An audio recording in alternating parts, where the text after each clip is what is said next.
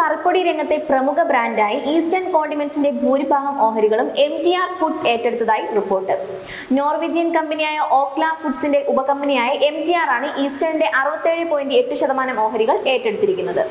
M E Meeran സ്ഥാപിച്ച eastern കോണ്ടിമെന്റ്സിന്റെ നാൽപ്പത്തി ഒന്ന് പോയിന്റ് എട്ട് ശതമാനം ഓഹരികളാണ് മീരാൻ കുടുംബാംഗങ്ങളിൽ നിന്നും എം ടി ആർ വാങ്ങിയിരിക്കുന്നത്. ഇതിനു പുറമെ ഈസ്റ്റേണിൽ ഓഹരി പങ്കാളിത്തമുള്ള മക് കോർമിക്ക് കൈവശം വെച്ചിരിക്കുന്ന ഓഹരികൾ കൂടി എം ടി ആർ വാങ്ങും. നിലവിൽ ഈസ്റ്റേണിൽ എഴുപത്തിനാല് ശതമാനം ഓഹരി മീരാൻ കുടുംബത്തിനും ഇരുപത്തി ആറ് ശതമാനം ഓഹരികൾ മക്കോർമിക്കുമാണ്. ഓഹരി വിൽപ്പന പൂർത്തിയാകുന്നതോടെ എം ടി ആറിന്റെ കൈവശമാകും ഈസ്റ്റേണിന്റെ അറുപത്തി ഏഴ് പോയിന്റ് എട്ട് ശതമാനം ഓഹരികൾ. ഇതോടെ ഈസ്റ്റേൺ കോണ്ടിമെന്റ്സിന്റെ നിയന്ത്രണം എം ടി ആറിനാകും. ഓർക്ലയുടെ സമ്പൂർണ ഉടമസ്ഥതയിലുള്ള M T R foods private ലിമിറ്റഡിലൂടെ Meeran കുടുംബത്തിൽ നിന്ന് ഈസ്റ്റേണിന്റെ നാൽപ്പത്തി ഒന്ന് പോയിന്റ് എട്ട് ശതമാനം ഓഹരിയും McCormick integrative S E Asia private ലിമിറ്റഡിന്റെ കൈവശമുള്ള മുഴുവൻ ഓഹരിയും വാങ്ങാനാണ് ധാരണയായിരിക്കുന്നത്.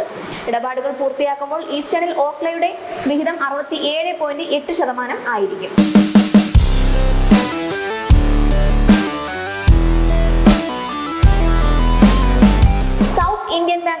ഇരുന്നൂറ്റി അമ്പത് കോടി രൂപയുടെ മൂലധനം സമാഹരിക്കും. ബാങ്കിന്റെ അധികൃത മൂലധനം മുന്നൂറ്റി അമ്പത് കോടി രൂപയായി വർദ്ധിപ്പിക്കാനും ബോർഡ് യോഗത്തിൽ തീരുമാനമായി. ഇപ്പോൾ അധികൃത മൂലധനം ഇരുന്നൂറ്റി അമ്പത് കോടി രൂപയാണ്. ഒരു രൂപ വിലയുള്ള ഇരുന്നൂറ്റി അൻപത് കോടി ഓഹരികളാണ് ഉള്ളത് ഇത് മുന്നൂറ്റി അൻപത് കോടിയായി വർദ്ധിപ്പിക്കാനാണ് തീരുമാനം. ഓഹരികളിലൂടെ എഴുന്നൂറ്റി അൻപത് കോടി രൂപ സമാഹരിക്കാനാണ് ലക്ഷ്യമിടുന്നത്. അഞ്ഞൂറ് കോടി രൂപ കടപ്പത്രങ്ങളിലൂടെയും സമാഹരിക്കും. ഇത് സംബന്ധിച്ച് കൂടുതൽ തീരുമാനങ്ങൾ പിന്നീടുണ്ടാകും. മൂലധന സമാഹരണങ്ങൾ നടപടിക്രമങ്ങൾക്ക് ആർ ബി ഐ സെബി എന്നിവയുടെ അനുമതികളും ലഭിക്കേണ്ടതുണ്ട്. നിലവിൽ ബാങ്കിന് പര്യാപ്തമായ നിലയിൽ മൂലധനമുണ്ട്. ഇത് സംബന്ധിച്ച് മുൻകൂർ തീരുമാനമെടുത്തത് മൂലധന സമാഹരണം സംബന്ധിച്ച നടപടിക്രമങ്ങൾ വൈകാതിരിക്കാനാണ്.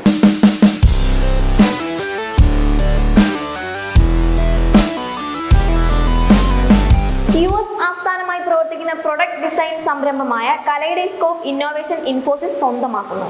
അമേരിക്കൻ വൈദ്യോപകരണ വിപണിയിൽ ചുവടുറപ്പിക്കാനുള്ള ഇൻഫോസിസിന്റെ പുതിയ നീക്കമാണ് ഈ ഏറ്റെടുക്കൽ എന്നാണ് ദേശീയ റിപ്പോർട്ടുകൾ. കലൈഡോസ്കോപ്പ് ഇന്നോവേഷനെ വാങ്ങാൻ നാൽപ്പത്തിരണ്ട് ദശലക്ഷം ഡോളർ ഇൻഫോസിനെ മുടക്കുന്നതായാണ് റിപ്പോർട്ടുകൾ. വൈദ്യ ഉപഭോക്തൃ വ്യവസായിക മേഖലകളിലേക്ക് ആവശ്യമായ സ്മാർട്ട് ഉൽപ്പന്നങ്ങൾ രൂപകൽപ്പന ചെയ്യുന്നതിലും വികസിപ്പിക്കുന്നതിലുമാണ് കലൈഡോസ്കോപ്പ് ശ്രദ്ധ കേന്ദ്രീകരിക്കുന്നത്. രോഗികളുടെ പരിചരണം ചികിത്സ രോഗനിർണയം ആരോഗ്യം എന്നീ മേഖലകൾ സ്മാർട്ട് സാങ്കേതിക വിദ്യ ഉപയോഗിച്ച് പുതുവിപ്ലവം സൃഷ്ടിക്കാൻ കലയുടെ സ്കോപ്പുമായുള്ള സഹകരണം സഹായിക്കുമെന്ന് ഇൻഫോസിസ് ഔദ്യോഗിക പ്രസ്താവനയിൽ അറിയിച്ചു.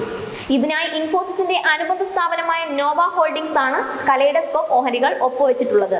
മെഡിക്കൽ രംഗത്ത് സങ്കീർണമായ ശസ്ത്രക്രിയകൾക്ക് ഉപയോഗിക്കുന്ന മൈക്രോ സർജിക്കൽ ഉപകരണങ്ങളും നേത്ര ചികിത്സയ്ക്ക് ആവശ്യമായ സൂക്ഷ്മ ഉപകരണങ്ങളും മറ്റും രൂപകൽപ്പന ചെയ്യുന്നതിൽ അഗ്രഗണ്യനാണ് കലൈഡോസ്കോപ്പ്. കോവിഡ് അനന്തരം സാങ്കേതിക വിദ്യയും വൈദ്യ ഉപകരണങ്ങളും സംയോജിക്കുന്ന പൊതുമേഖല വലിയ നിക്ഷേപങ്ങൾക്കും ഉപഭോക്താവൽക്കരണത്തിനും ഇത് പുതുവഴി തെളിയിക്കും.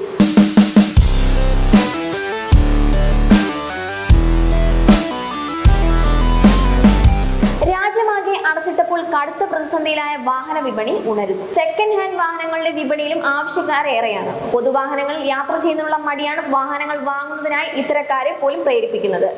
ഉപയോഗിച്ച വാഹനങ്ങൾക്ക് ആവശ്യക്കാർ ഏറെയാണെങ്കിലും ചെറിയ മോഡൽ കാറുകൾ ആവശ്യത്തിനനുസരിച്ച് കൊടുക്കാൻ കഴിയുന്നില്ലെന്ന് കൊച്ചിയിൽ ഉപയോഗിച്ച വാഹനങ്ങളുടെ ഷോറൂം നടത്തുന്ന സലീം പറയുന്നു. ഇക്കഴിഞ്ഞ ഓഗസ്റ്റിൽ പ്രതീക്ഷ പകരുന്ന വിൽപ്പനയാണ് ഉണ്ടായിരിക്കുന്നത്. കഴിഞ്ഞ വർഷം ഇതേ സമയത്തെ അപേക്ഷിച്ച് പാസഞ്ചർ വാഹന വിപണിയിൽ വിൽപ്പന ഓഗസ്റ്റിൽ ഇരുപത് ശതമാനം ഉയർന്നു. ഈ വർഷം ജൂലൈ മാസത്തെ അപേക്ഷിച്ച് പതിനെട്ട് പോയിന്റ് അഞ്ച് ശതമാനം കൂടുതലാണ്. എൻട്രി ലെവൽ കാറുകൾക്കും സ്പോർട്സ് യൂട്ടിലിറ്റി വാഹനങ്ങൾക്കുമായിരുന്നു ഏറ്റവും ഡിമാൻഡ് ഉണ്ടായത്. രാജ്യത്തെ ഏറ്റവും വലിയ കാർ നിർമ്മാതാക്കളായ മാരുതി സുസുക്കിയുടെ ആഭ്യന്തര വിൽപ്പനയിൽ ഇരുപത് ശതമാനം വളർച്ചയുണ്ടായി. ഓൾട്ടോ എക്സ്പ്രസോ തുടങ്ങിയ എൻട്രി ലെവൽ കാറുകളുടെ വിൽപ്പന ഇരട്ടിയോളം ഉയർന്നു. ഒരു ലക്ഷത്തി പതിമൂവായിരത്തി മുപ്പത്തിമൂന്ന് യൂണിറ്റുകളാണ് ഈ കാലയളവിൽ മാരുതി വിറ്റത്. ടാറ്റ മോട്ടോഴ്സ് ആകട്ടെ മികച്ച പ്രകടനമാണ് കാഴ്ചവെച്ചത്. വിൽപ്പനയിൽ നൂറ്റി അൻപത്തിനാല് ശതമാനം വളർച്ചയാണ് ഉണ്ടായത്. കഴിഞ്ഞ വർഷം ഇതേ സമയം ഏഴായിരത്തി മുന്നൂറ്റി പതിനാറ് യൂണിറ്റുകളാണ് വിറ്റതെങ്കിൽ ഈ വർഷം ഓഗസ്റ്റിൽ പതിനെണ്ണായിരത്തി അഞ്ഞൂറ്റി എൺപത്തി മൂന്ന് യൂണിറ്റുകൾ വിൽക്കാനായി. ഇന്ത്യയിലെ പുതിയ ബ്രാൻഡുകളിൽ ഒന്നായ കിയയുടെ വിൽപ്പന വളർച്ച എഴുപത്തിനാല് ശതമാനമാണ്. പതിനായിരത്തി എണ്ണൂറ്റി അമ്പത്തി മൂന്ന് യൂണിറ്റുകളാണ് ഈ ഓഗസ്റ്റിൽ ഇവർ വിറ്റത്. Honda Ford Volkswagen Toyota Nissan Fiat എന്നീ ബ്രാൻഡുകളുടെ വളർച്ച ഓഗസ്റ്റ് വരെ നെഗറ്റീവിലായിരുന്നു.